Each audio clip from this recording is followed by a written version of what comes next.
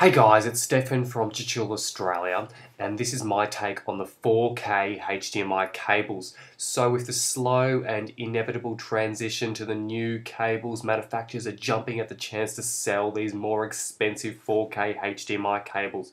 But guess what? You do not need it. Here's why. There is four different types of cables. The high speed with, with Ethernet, the high speed without Ethernet, the standard speed with Ethernet, and the standard speed without Ethernet. There's no reason to get the standard speed cables anymore as the price difference is uh, not too much.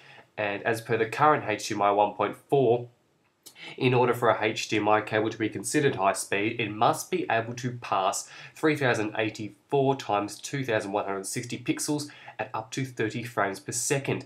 Now this means that even the cheapest H HDMI high-speed cable can pass the maximum resolution possible with the current generation of Ultra HD 4K TVs, which means you do not need to buy these more expensive cables that uh, gimmicks and manufacturers are trying to make people suck in to buy, whereas the normal ones just pass the maximum resolution possible.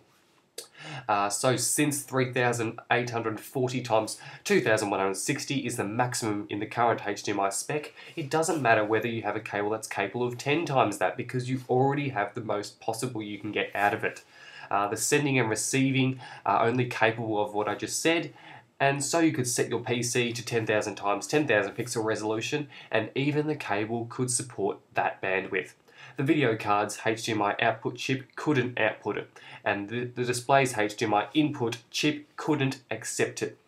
In other words, it's a chain, and all parts of the chain have to have the ability to support all of the data. And right now, if the cable is rated high speed, it can pass the resolution currently possible with the new Ultra HD TVs uh, TVs. So the new, the one caveat is just because a cable is called high speed doesn't mean it actually is. That's the main point.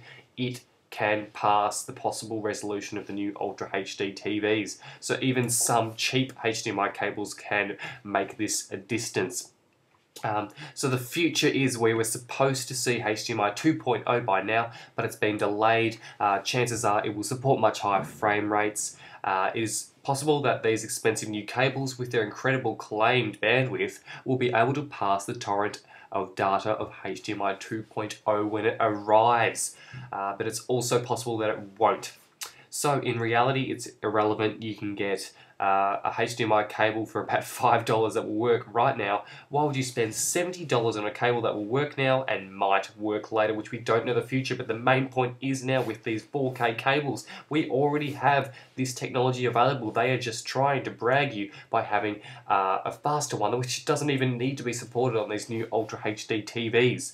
Uh, the bottom line is there was no particular need to say this, uh, but people can easily get sucked in. So it's good to watch these things and be aware of the consequences because it's so easy just to slip by and think, oh, I've got this TV now, I have to get this new cable.